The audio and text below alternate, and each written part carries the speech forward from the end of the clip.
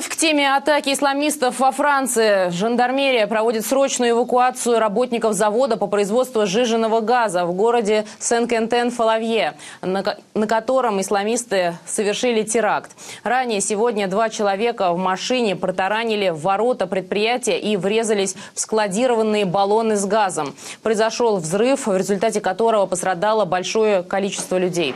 Большое число людей. Согласно первым данным, один человек погиб, не менее 10 человек серьезно пострадали в результате этого теракта. У входа в предприятие найден флаг с исламистскими лозунгами и отрезанная человеческая голова.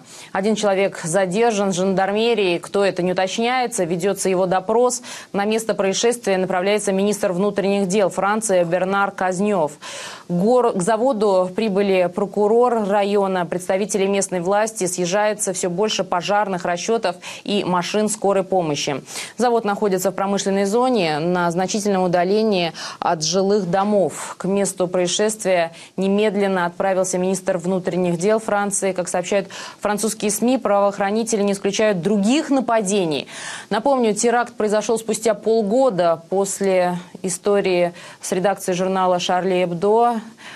Тогда погибли 17 человек.